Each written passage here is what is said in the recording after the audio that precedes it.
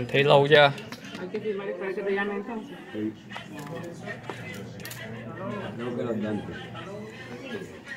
Yeah, uh, I have just spoke to him. They